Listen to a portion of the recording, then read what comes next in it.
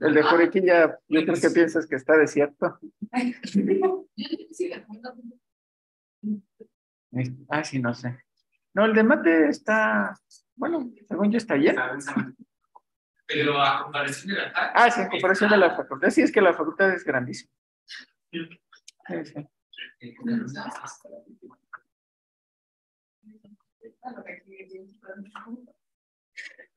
Y allá estaba bonito, allá alrededor de. Sí, sí, de Juriquilla, sí, está muy bonito. De No, No sé cómo justificar. Pero, por ejemplo, sí, yo mi profe así de la carrera de máster quisiera llevar de práctica, digamos, que puede. No. eh, Sí, sí es un congreso, sí. podría pasar. Sí, yo creo que sí podría pasar. Está. Pero ahorita no hay congresos por ahí. ¿Vale? Ah, el congreso, sí. Sí. Pues, Si necesitamos un congreso. Pues, y de análisis todo, pues, de veras, sí, no tienen análisis? Creo que sí. Sí lo veo. No, creo, diga que sí. Este, aquí las, este, de los esqueletos de los horarios de cálculo, de análisis y cálculo. Dale. Pues vamos a empezar. Pues este se llama completitud.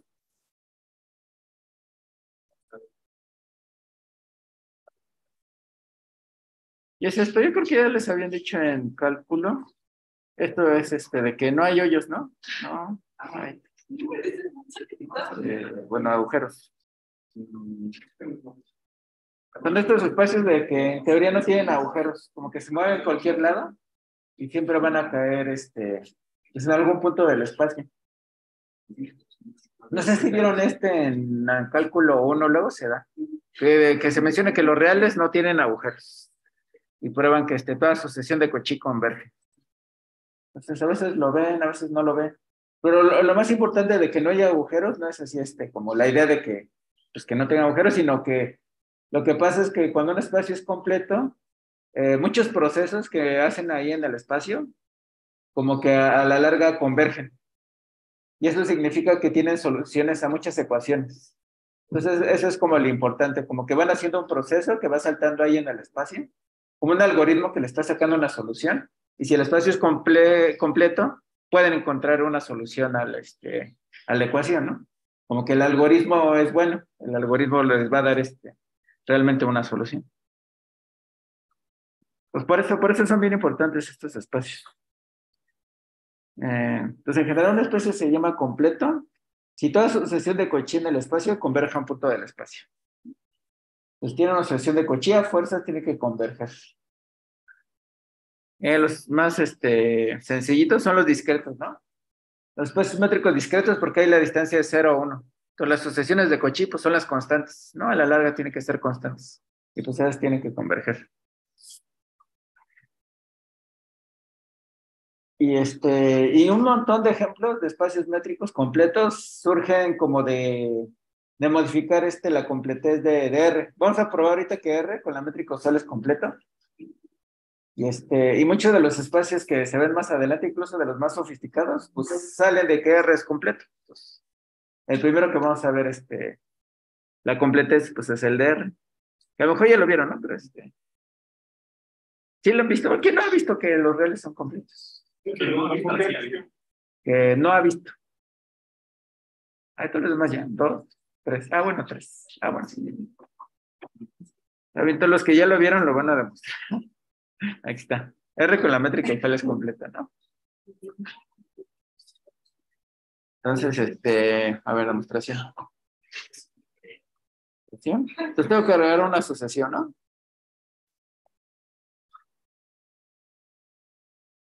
Yo no quiero pintar.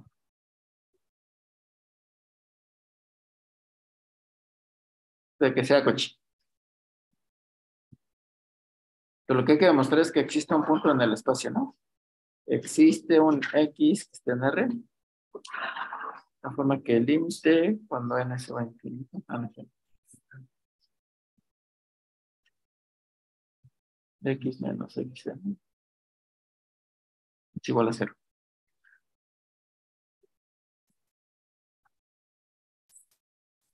Entonces, este es el problema, ¿cómo, cómo demostrar que existe este puntito, no? Y la existencia viene dada por el axioma del supremo. Porque tiene que salir de algún lado, ¿no? Y de los reales.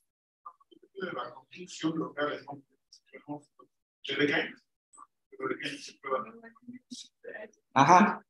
Sí, entonces ahorita lo que estamos suponiendo es que tenemos R eh, con el axioma del supremo, ¿no?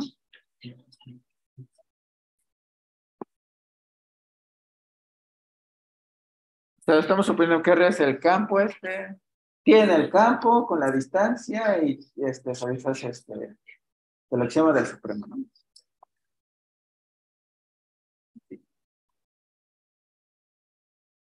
Entonces, a ver cómo construyen eh, este X. Entonces, la idea es este. Los que ya lo vieron, ¿se acuerdan cómo lo hicieron? Hay varias formas, ¿no? Una, como dices, compañeros, con estas, este, ¿cómo se llaman? Cortadoras de Derrick, no. Sí, no, se llaman cortadoras de Derrick. ¿Todos lo vieron? ¿Los así con cortadoras de Derrick? ¿Lo vieron?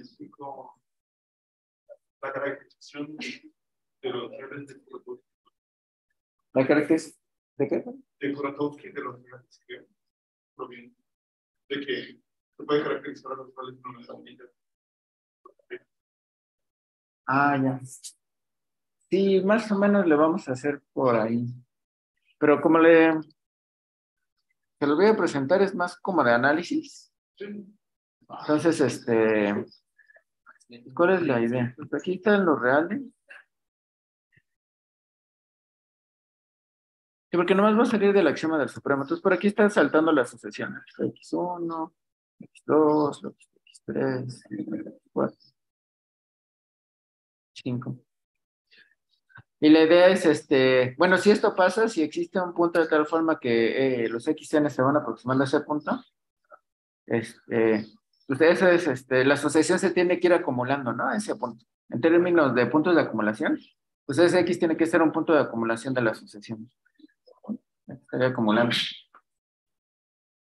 Y para eso lo que se hace es se agarran este, eh, el punto de acumulación más grande y el punto de acumulación más chico. Porque, acuérdense, si este es de cochín, este, cuando este es de cochín,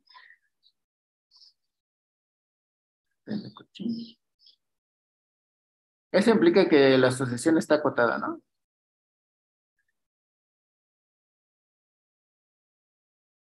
Eso por ahí lo vimos cuando estábamos viendo lo de asociaciones. Entonces quiere decir que este, aquí hay un intervalo suficientemente grande que la asociación está ahí moviéndose, ¿no? Entonces, como está ahí, se tiene que ir acumulando en algunos puntos. Entonces, lo que vamos a hacer, vamos a agarrar el punto de acumulación más grande, el más chico, y vamos a ver que este, que de hecho son iguales. O sea, si eh, cuenta, se va a estar acumulando de cierto lado, de, en el lado más grande, el lado más chico, y después lo que vamos a probar es que estos son iguales, y de hecho, cuando son iguales, ese es el límite donde se, aproxima la sucesión.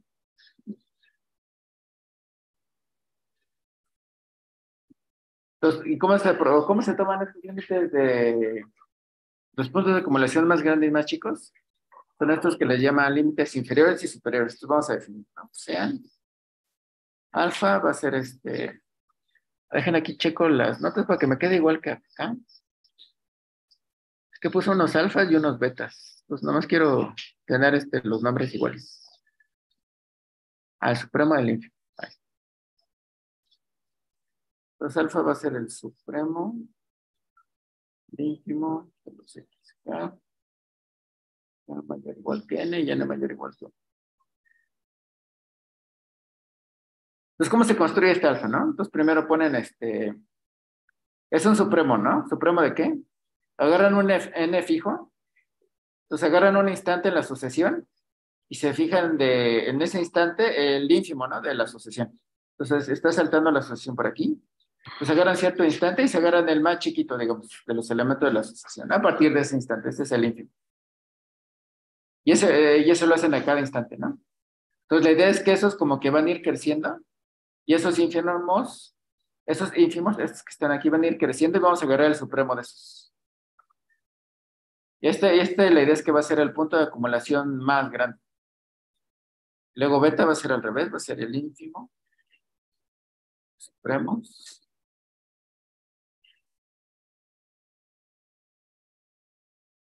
Es algo similar, ¿no? La asociación está saltando por aquí. Entonces agarran cualquier instante de la asociación y se fijan el más grande. Pues agarran, este, no sé, un millón, se fijan todos los que vienen después de un millón y se agarran el más grande. Entonces hacen eso para cada instante. Lo que vamos a probar es que esos supremos van a ir decreciendo. Y se agarran el más chiquito de esos y ese va a ser el punto de acumulación más chico. No vamos a probar eso exactamente, pero este, esa es la idea de por qué se agarran estos supremos.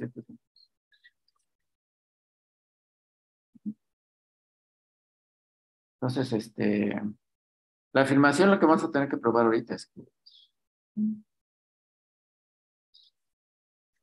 estos son iguales. Alfa es igual a beta.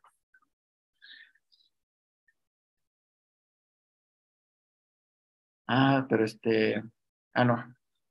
Sí. Aquí todavía tengo que hacer un paso extra. A ver, déjenme quitar esto.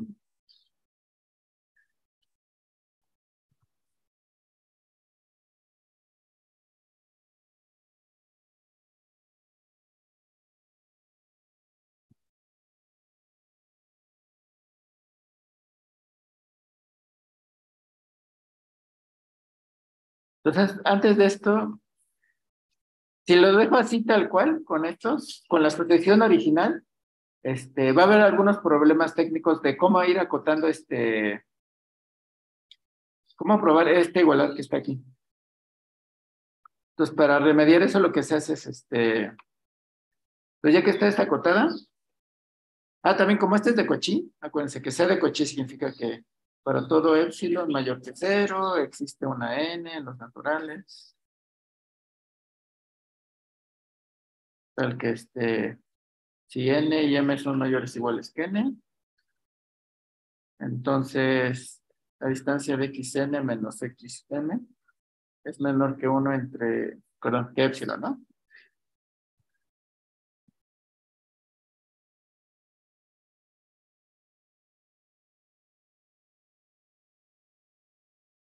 Esa es la definición. Pero las distancias entre los elementos de la asociación se van haciendo chiquitos. Entonces aquí viene este, un paso técnico que tenemos que hacer para facilitar las cuentas que vienen más adelante. Vamos a ir tomando este epsilon de la forma 1 sobre 2 a la k.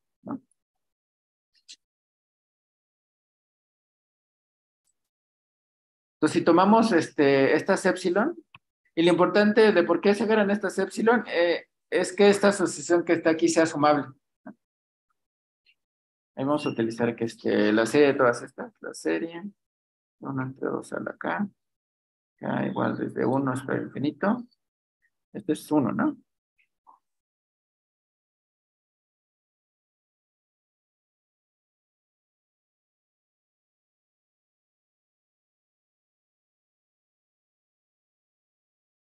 Entonces, si voy tomando esta asociación, por ejemplo, tomo epsilon igual a un medio, ¿no?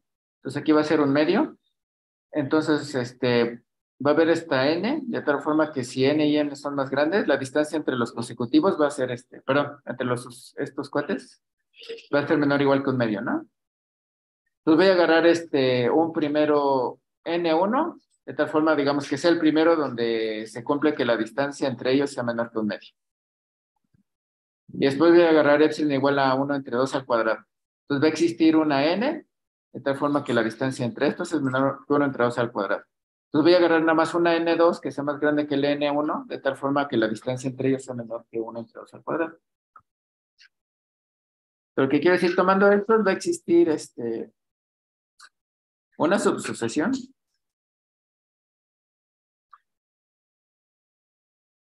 xnk desde 1 hasta infinito, calque xnk más 1 menos xnk. Esto es, es menor igual que, bueno, es menor estricto que 1 entre 2 a la.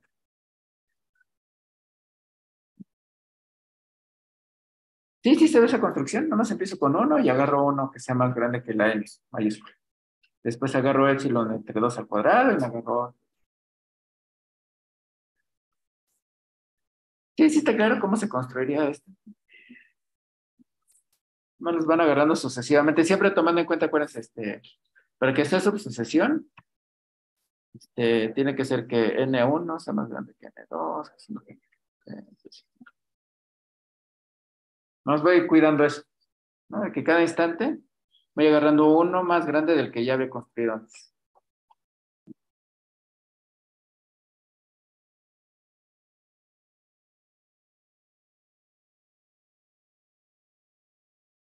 Este, y una observación que vamos a hacer. Por ejemplo, ¿qué pasa cuando agarro xnk más 2? Porque aquí estoy, este, bueno, xnk más 2 a xnk. ¿Cuánto es la distancia entre nxk más 2 y xnk? Ajá, entonces aquí es una desigualdad de triángulo, ¿no? Sería xnk más 2 menos xnk más 1 más xnk más 1 menos xnk. Y tengo que meter este porque lo que yo sí sé cómo comparar entre estos dos son los consecutivos, ¿no? Cuando tienen un K y un K más 1. Pues por construcción, este sería un menor que 1 entre 2 a la K más 1, más 1 entre 2 a la K. Entonces, cuando eh, agarro no, no consecutivos, sino cuando son, digamos, dos, Aquí me aparecen dos sumandos, ¿no? Dos sumandos de la serie esta que es convergente.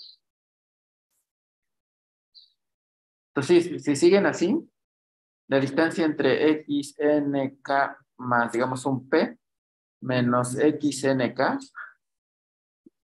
O sea, voy a comprar ahora en el instante k y en el instante k más p, ¿no? Y la idea, pues, es ir metiendo este, los consecutivos, estos ceros, de tal forma que los que voy comparando van a ser consecutivos. Entonces esto va a ser menor estricto aquí va a ser algo de lo formal. 1 entre 2 a la... ¿Sería qué? K más P menos 1. Más, más, más, más. 1 entre 2 a la K. Entonces empiezo aquí y llego uno antes este, del, que, del que termine.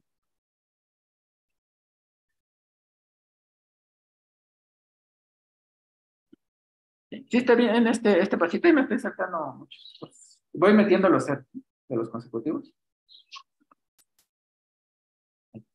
Y esto se puede escribir este, la suma de 1 entre 2 a la k más i, de, desde 0 hasta p menos 1, ¿no?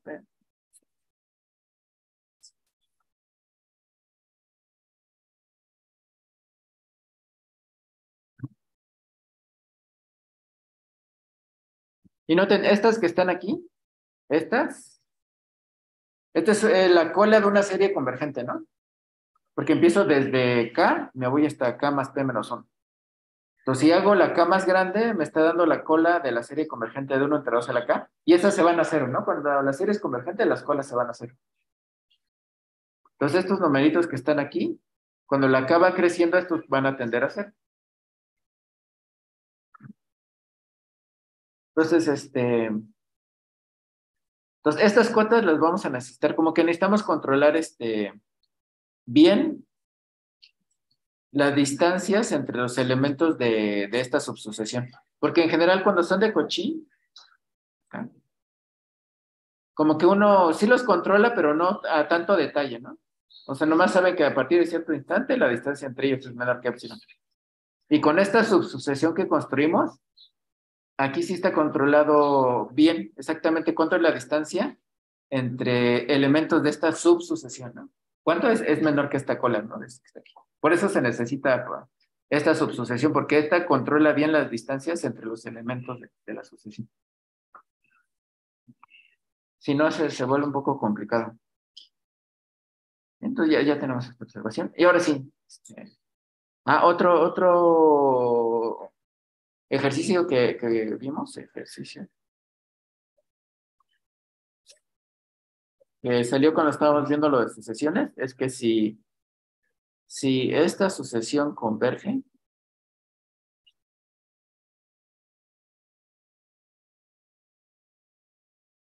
Si tienen una sucesión de Cauchy y una subsucesión converge, ya lo original converge. Entonces esta converge.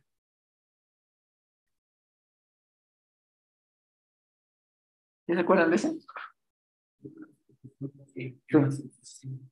Ajá, implican ya que la asociación original converge.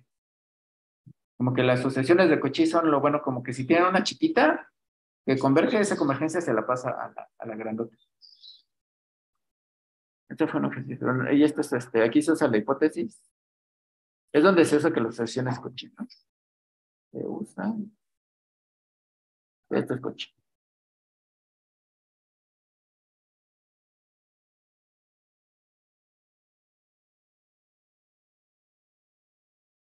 Entonces, por ese ejercicio, para probar que la asociación original converja, ahora nos enfocamos en que esta subsucesión converge, ¿no?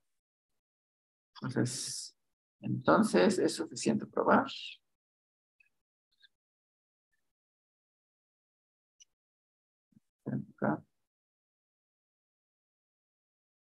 Se converge, ¿no? Pues no vamos a probar que lo original converge, sino que esta subsucesión converge. Y esta, les digo, tiene ya la ventaja de que se puede controlar bien precisamente las distancias entre los elementos de la sucesión, de la subsucesión. No, no, no es solamente un epsilon, es este epsilon, ¿no? Vaya.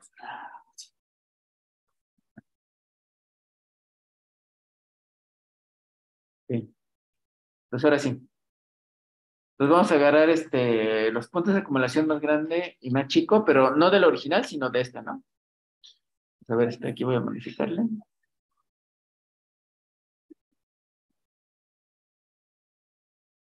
Ese es este, va a ser X. N. Ay, no. N. K. Digamos, la K mayor igual que J, si quieren, y la J mayor igual que N. K. La K mayor igual que una J y la J mayor igual una. Entonces aquí hago es porque es como un doble proceso, ¿no? Es lo que luego como conjunto. Sería XNKJ, ¿no? X, N, K. ¿Y? ¿Así? Ajá. No, no, nomás, nomás encontramos, si, si aquí le pusiera una J, querría decir que de esta subsucesión paso a otra subsucesión, ¿no? No, lo que quiere decir, este, si quieren, este,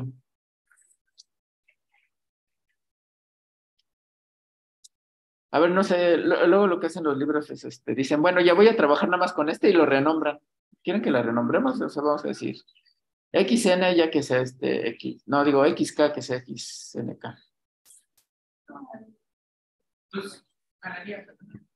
Bueno, voy a dejarla así entonces. Porque ya, ya no, no vamos a enfocar nomás en la subsucción. Entonces aquí es un doble proceso, ¿no? Agarro un J fijo, me fijo en el más chiquito, y de ese me agarro este, ¿no? A ver, este. Vamos a poner un poco de anotación a ver si se va. Entendiendo un poquito más. Entonces vamos a poner este alfa J, va a ser el ínfimo de los XNK, K mayor o igual que J. Y el beta J va a ser lo mismo. Beta J, bueno, análogo es el supremo de los XNK, K mayor o igual que J.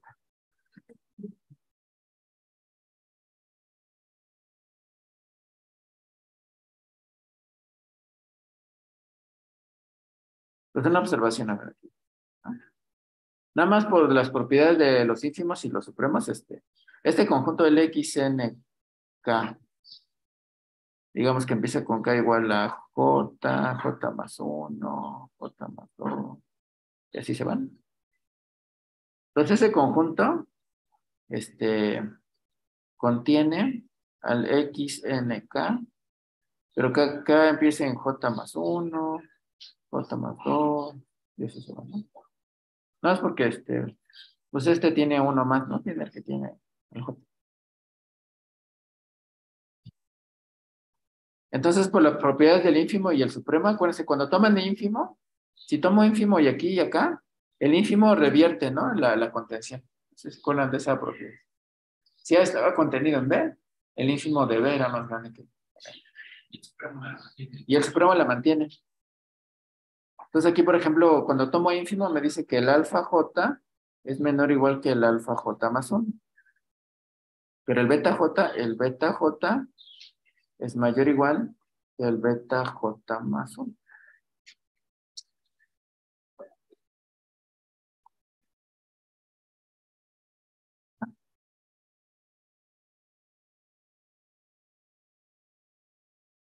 Entonces, la sucesión de los alfas es creciente y la sucesión de los betas es decreciente.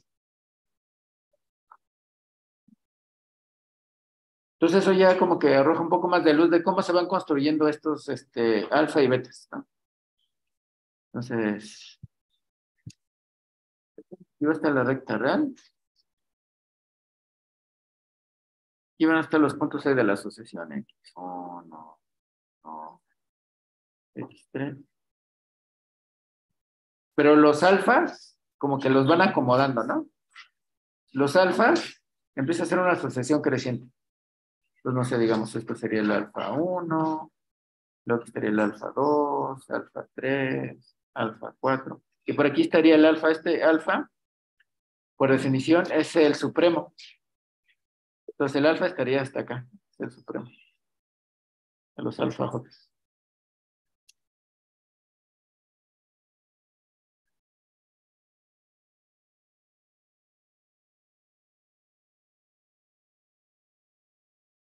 Pero a veces, este, pues, parecido, ¿no? Aquí están los elementos de la sucesión.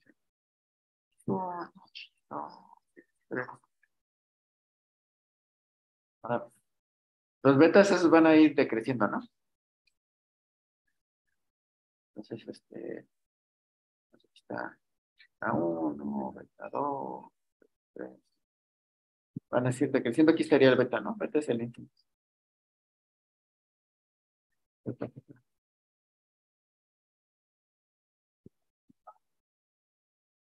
¿Vale? Ah, sí. Sí, les puse todo. Sí, pero. sí.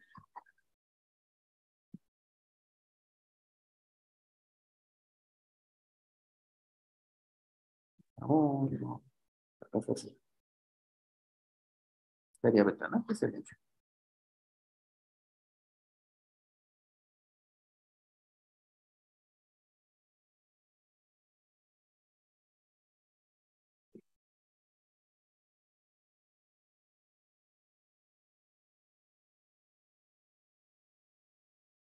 Entonces, eso es como que tratan de acomodar ahí la sucesión. Ah, luego también este. Otra que, que se me olvidó poner aquí.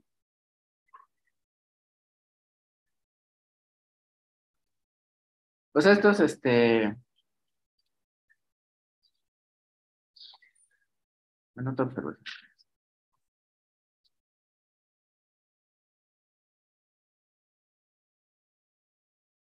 Entonces el alfa J es el ínfimo, ¿no? Es el ínfimo de los X en K. K mayor o igual que J, ¿no? Y el beta J es el supremo. Es el supremo. de X en K. K mayor o igual que J, ¿no? El beta J.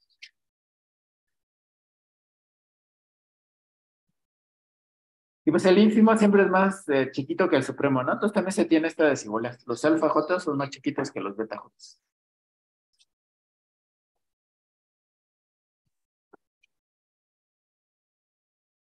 Entonces, estas sucesiones de los alfa J y beta J como que van acomodando un poco los elementos de la sucesión. Entonces, aquí, por ejemplo, estaría alfa 1, estaría beta 1, aquí estaría alfa 2, estaría beta 2, así se van. Aquí está alfa J, aquí esta beta J.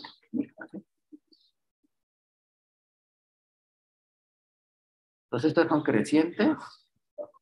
Estas son decrecientes. Y justo aquí en medio, el alfa va a ser el supremo de estos. Y el beta es el ínfimo de los beta J. Ajá.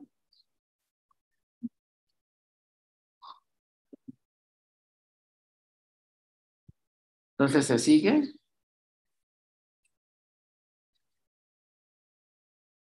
Alfa es menor o igual que beta.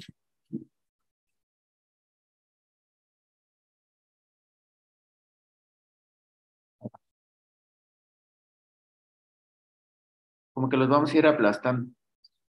Ahorita lo que tenemos que probar es que son exactamente el mismo, ¿no?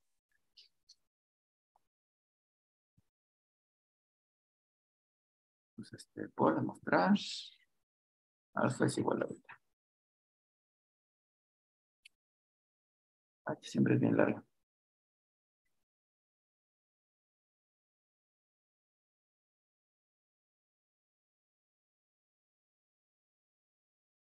Pues, ¿cómo, ¿Cómo probamos que estos son iguales? Entonces vamos a sacar este, tenemos que usar las propiedades fundamentales del ínfimo del supremo. Entonces vamos a hacer este, sea epsilon mayor que z, ¿no? va a estar alfa, va a estar beta. Acuérdense, el alfa es el supremo de esto, ¿no?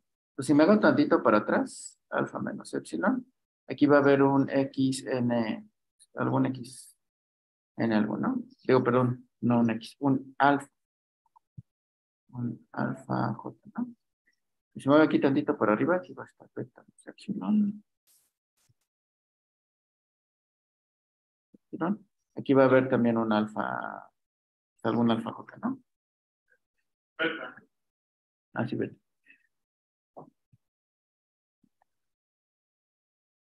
Entonces, en principio, estos tendrían que ser distintos, ¿no? Porque son distintas sucesiones. Uno es el de las alfas y otro es el de las betas. Me hago tantito para atrás, existe este J1 que se cuela. Me hago tantito para adelante, existe este beta J que se cuela, ¿no? Pero este, como la sucesión este es creciente y este es decreciente, todos los que vengan después del, alfa, del J1 van a estar este, pues por acá. Y todos los que vengan después del J2 van a estar como por acá.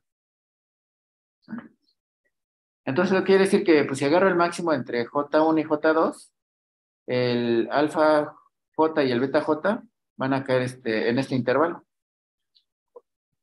A ver. Nos voy a escribir, ¿no? Entonces,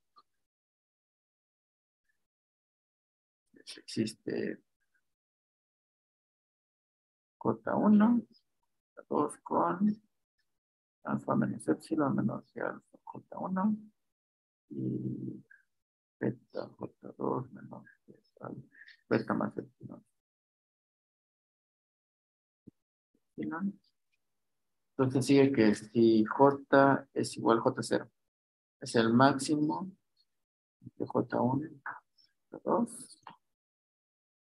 Eso significa que alfa menos epsilon es menor que alfa J, es menor que beta J, es menor que beta más epsilon, para todo J mayor y igual J0.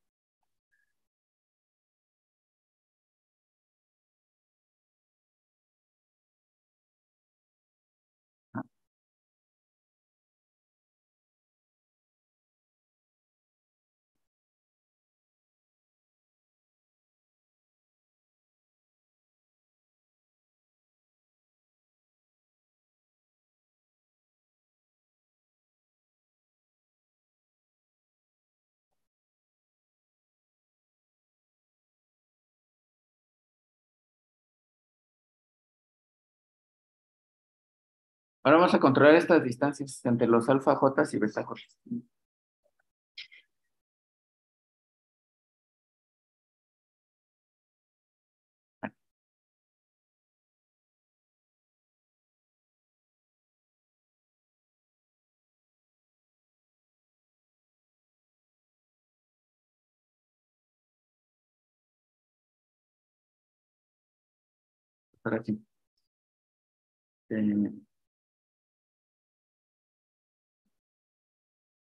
Simulación.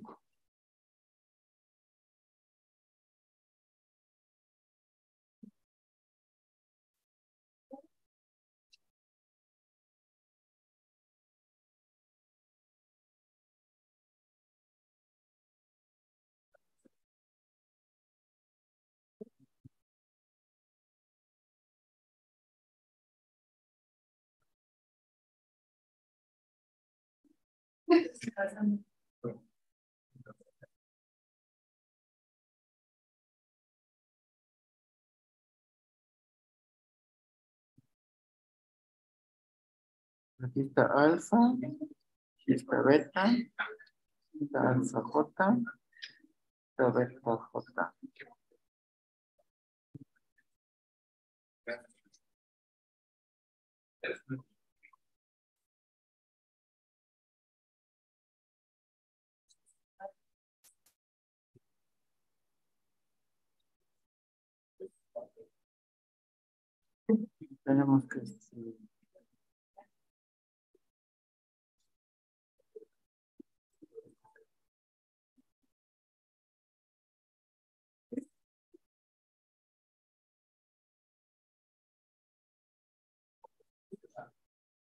Ahorita tenemos que estimar esta distancia que está aquí. Esa es la que están sandwichando alfa y beta. Luego el beta J es beta J. Es el supremo, ¿no?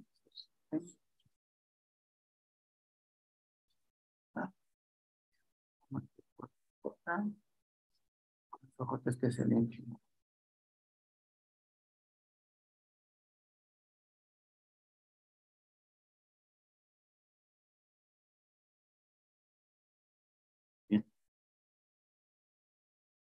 Mm.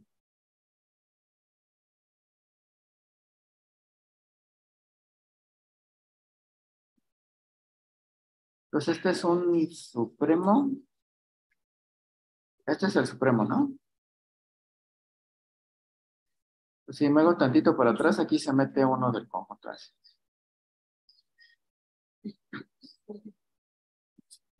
Pero,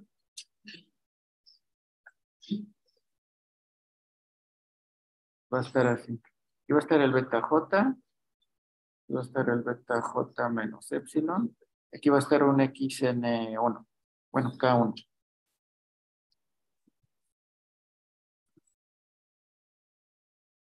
Aquí va a estar el alfa J. Y alfa J es un ínfimo, ¿no? Entonces si le sumo tantito.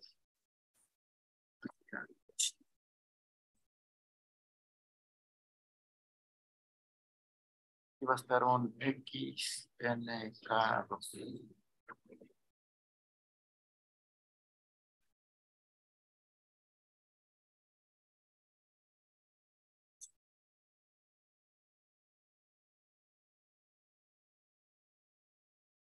Entonces, este, no me, encuentro estos que están aquí con las propiedades del ínfimo y del supremo, ¿no? Y de hecho aquí este K2 tiene que ser este más grande que este J.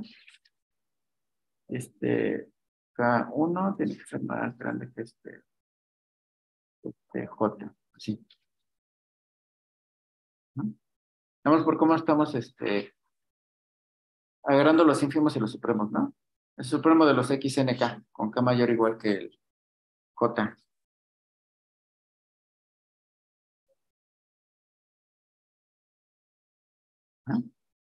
Entonces estos se cuelan y lo que sí sabemos es la distancia entre estos xnk1 menos xnk2. Ajá.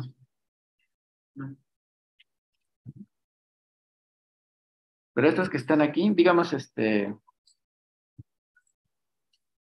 Ya encontré estos este, X elementos de la asociación que se cuelan entre alfa J y alfa J más epsilon. Y este que está aquí. Y digamos, alguno de estos tiene que ser mayor que el otro, ¿no? O sea, en K2 es, digamos, mayor que el K1. En pérdida de generalidad, el K2 es más grande que el K1. Entonces podemos escribir el K2 como el K1 más alguna P, ¿no? Donde P es este, mayor o igual que.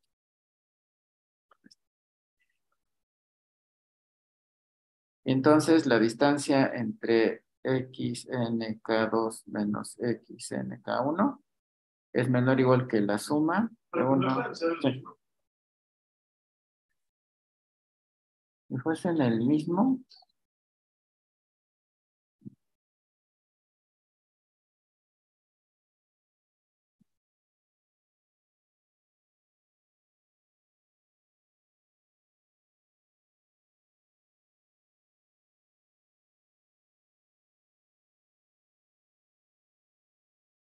si fuesen el mismo, no es que si fuesen el mismo,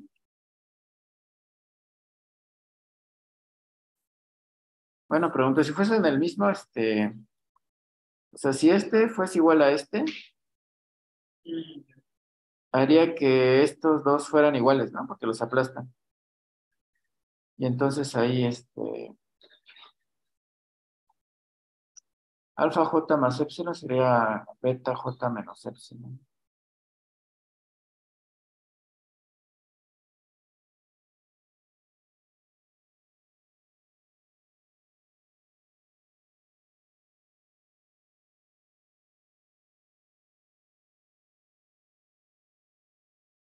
Buena pregunta. ¿no? Son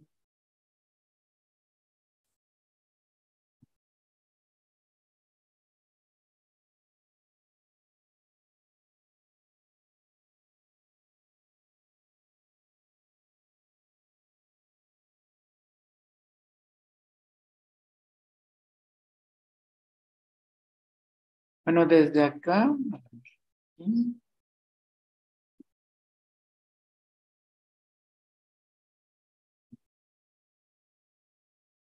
¿sí? Viene desde acá. Vamos a modificarlo un poquito aquí.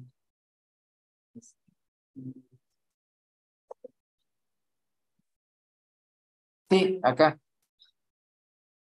Desde aquí podemos suponer, aquí habría que hacer dos casos, ¿no?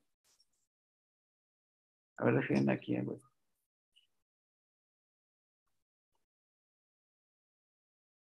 Desde acá, desde aquí, desde el J0.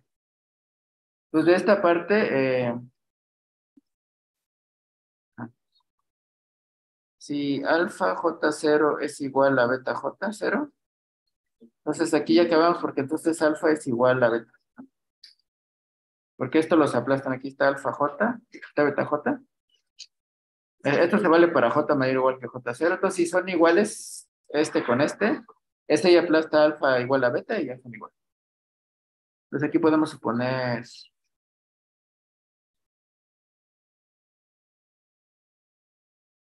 alfa J0 menor estricto que el beta J0. Ajá. Ya que tenemos esto, ya podemos pasarnos por acá. Ah, bueno, y si esto pasa, entonces, este... Ah. Ah, no, hecho un poquito más. Si esto pasa, si, esta igualdad se da, si esta igualdad se da,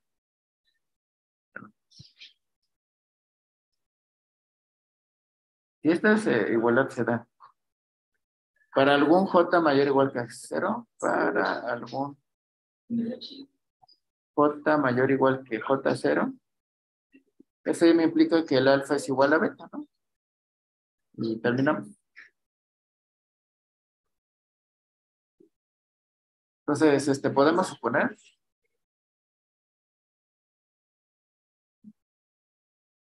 que alfa j es menor estricto que beta j, para todo j mayor o igual que j. Si en algún momento se da la igualdad de los alfas j y beta j, acabamos, y si no, suponemos que pasa esto, y ahora sí.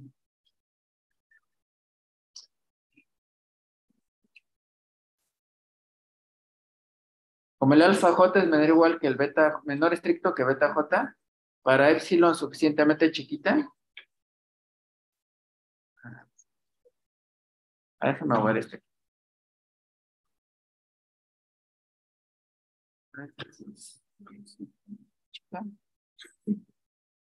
El alfa j más epsilon es menor estricto que el beta j menos epsilon. Cuando dices suficientemente chica, Más, más chiquita que este, ¿verdad? Pues aquí está alfa j y beta j, ¿no? Si te agarras epsilon menor que, la, que un medio de la distancia entre ellos, este, ajá, el alfa j más epsilon no rebasa al beta menos epsilon. O sea, para, así que lo pongo así, ¿no? Para epsilon que pertenezca desde 0 a beta j menos alfa j sobre 2. Existen.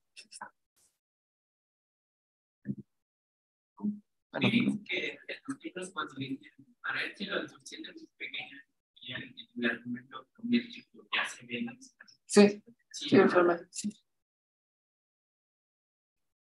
O sea, a partir de cierto instante, este, el argumento que dicen se vale, ¿no? Las desigualdades que dicen se valen. Entonces, ¿en qué instante? Aquí es beta j menos alfa j sobre Así para esos epsilon existe un K1 y K2 de tal forma que esto pase, ¿no? Sería X.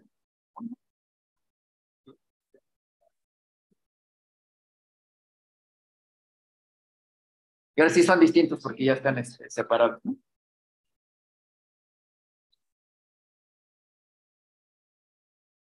Sí.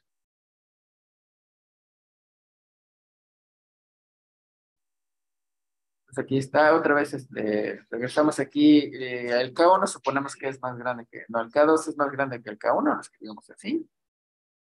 Entonces ahora sí viene esta cuenta que habíamos hecho antes. Entonces, la distancia entre estos cuates es menor que 2 eh, a la K1. K1 más I y desde 0 hasta P menos 1.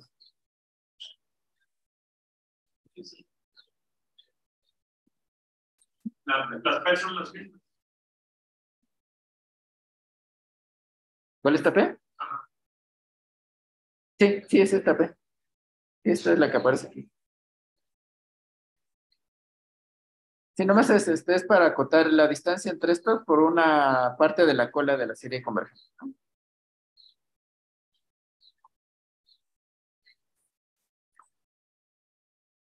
Entonces, ahora sí.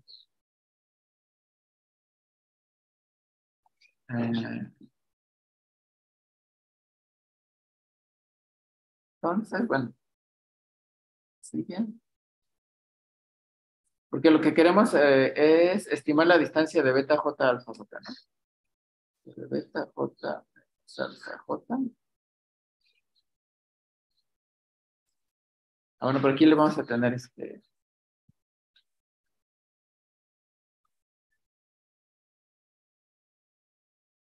Pues fíjense, este, la distancia entre estos dos, beta j más epsilon y, alfa j menos epsilon, beta j menos epsilon menos alfa j más epsilon. Esto es menor o igual. Pues la distancia entre estos es más chiquito que la distancia entre estos x. Menor que la distancia de x nk2 menos x nk1. Esa a su vez es menor igual que la suma de igual con 0 hasta p menos 1 de este. Hasta acá 1.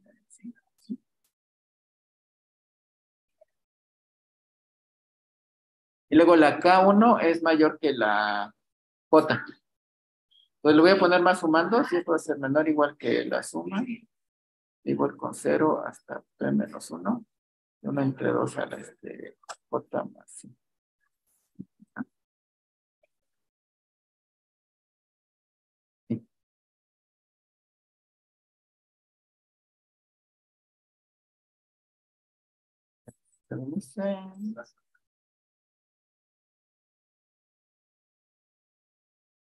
Porque la K1 es más grande que la de este.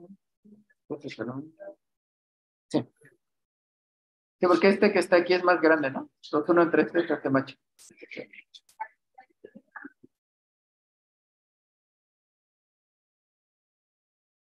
Y aquí ya se sigue que beta j menos alfa j es menor igual que 2 veces epsilon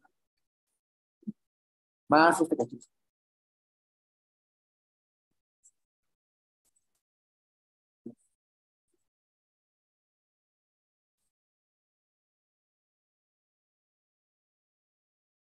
Y este que está aquí se va haciendo chiquita cuando la J se hace cada vez más grande.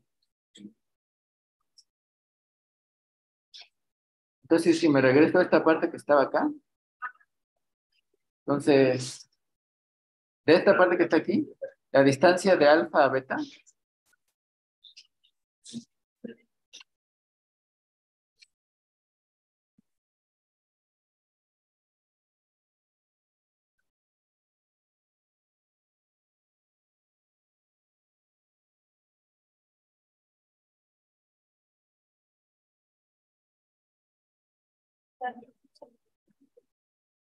Y este se va a cero cuando la J se va.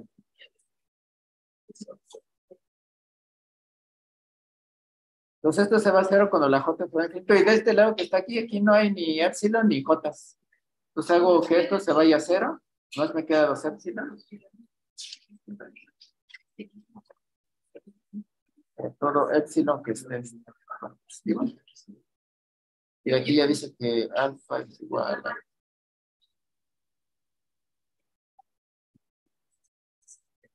Y ahí, le dejamos. Todavía me falta otra parte, ¿no? Me falta probar que este, que la, eh, que la serie original converge. Pero ya encontramos el punto de convergencia. Este va a ser. Nos vemos mañana.